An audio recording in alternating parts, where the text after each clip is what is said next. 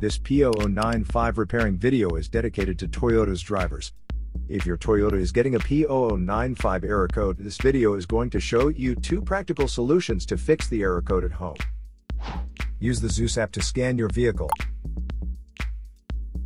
and see the error code P0095. It indicates that the ECM has detected a voltage from the intake air temperature sensor that is outside the normal range. Here are two of the most practical solutions to fix Toyota's P0095 error code. Method A, the IAT sensor. The IAT sensor could be on the throttle body attached right to the intake manifold.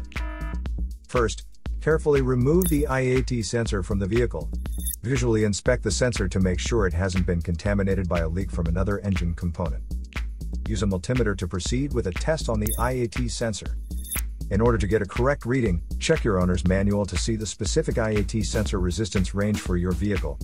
If you do not get a reading, this indicates that the IAT sensor is faulty and needs to be replaced. Method B, the air filter. locate the air filter housing. It usually looks like a black plastic box. Disengage the cover to expose the air filter. Be careful not to dislodge any hoses or stretch any wiring when you do this. Remove the old filter carefully.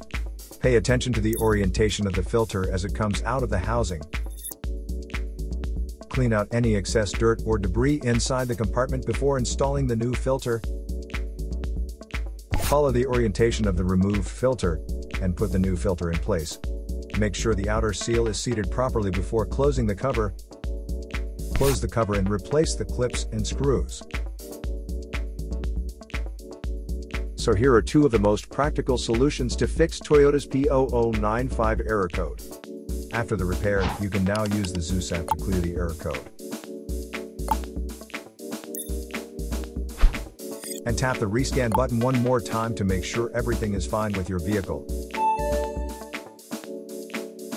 To save more money on car expenses, claim a free engine code scanner at the description link below, or check out the video here for more info. You're also welcome to leave comments below, our mechanic professionals will answer them shortly. Don't forget to like and subscribe to our channel. Thanks again for watching this video.